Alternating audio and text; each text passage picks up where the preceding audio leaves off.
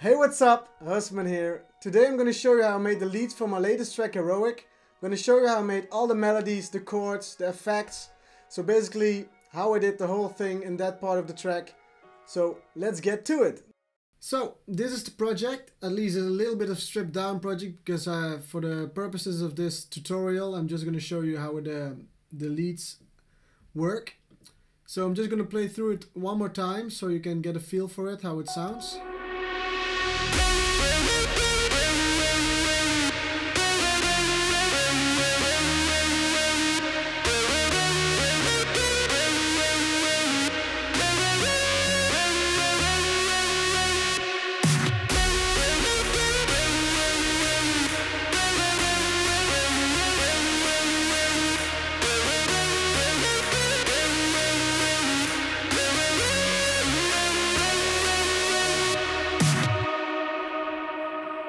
That's the whole the whole thing all together, and it sounds, in my opinion, pretty decent.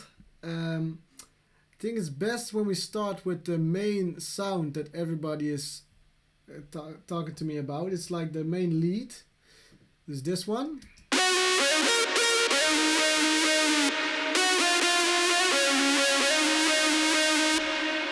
So as you can see in the um, in the melody here, the most important thing of this whole sound is the the little pitch bends because they make it like go towards the the next note to give like a, a, a portamento effect.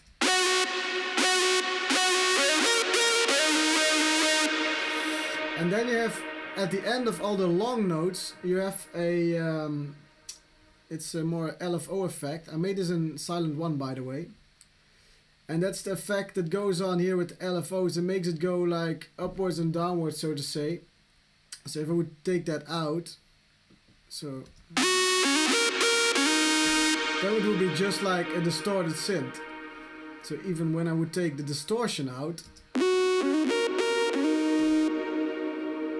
not much left then. So it's basically it's it's just like a saw wave, a sine wave, which which makes um, the a little bit of fluctuation in the the how do you say it? In the in the synth with some different alterations. And then it's basically just a distortion which gives us that that edges in the overdrive. And then put up the gain of the cutoff LFO so that's basically the main reason why this synth sounds like it does. And I put it here on uh, a mono legato, so you only can play like one one um, one voice.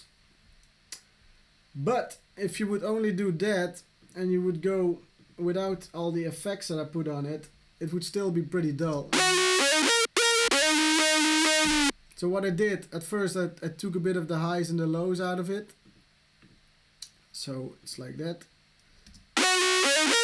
and then for some reason I added high again. I don't know why but but then the big the the big one is like the reverb. So I just sent it to um, uh, Ascend and then put like a EQ on first to take off the lows and the highs then a reverb then I sidechain it to the top lead and then afterwards I would sign it to the side to the sidechain channel for when a kick would come in. And then I would take the mids uh, away and I boosted the, the the sides on the high frequencies. So it the reverb is more like on the side and not like where the lead is playing. So that's how we get the so that's mainly how I did that lead and then we go back to the the chords underneath it. It's really actually really simple. It's just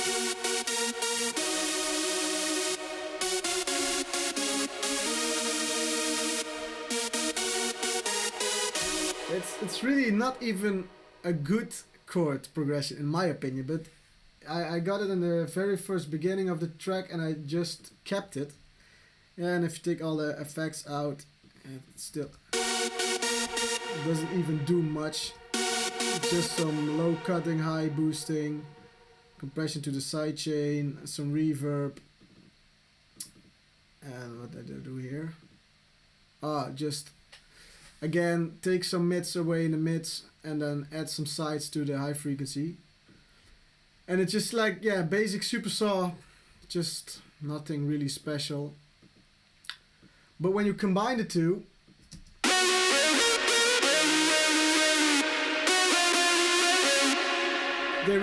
like uh, are in harmony together and that's what makes the, the sound really really wide. To go with that I added some bass lines. It's not really that big of a deal the bass line just to give it some punch in the low end. The first one is a pluck bass. Yeah, it's, it's also again a Sylenth and also just took away some of the lows. Second one is a more grittier pluck bass for the wide uh, angles of the of the bass line again took away some of the lows and then I have like a break bass which is longer more like a sub bass actually. Yeah what did I do there? I did some low cutting again some OTT which is a great plugin from Xfer and then uh, took away the high frequencies from the with the filter.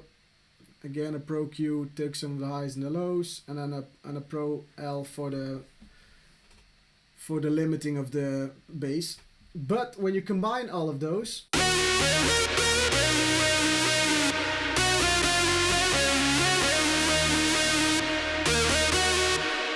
you get a pretty decent, uh, pretty decent, uh, how do you say it, whole. No, that's the wrong word, but pretty decent sound, so to say yeah, what I added then is was just some little stuff, like really cheesy EDM, stadium things. Just to give it more of an edge, and then here I did a hit.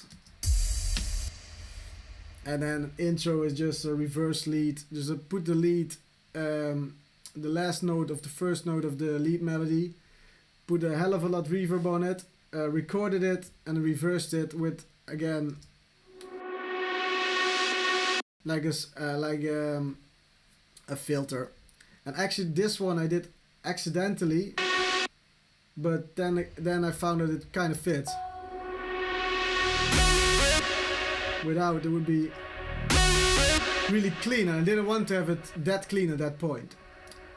So yeah that's basically how I did the the main lead of the leads and the chords and everything of the of my track heroic so thank you for watching, and uh, we'll be back next week where I explain the the drop of heroic. So take care.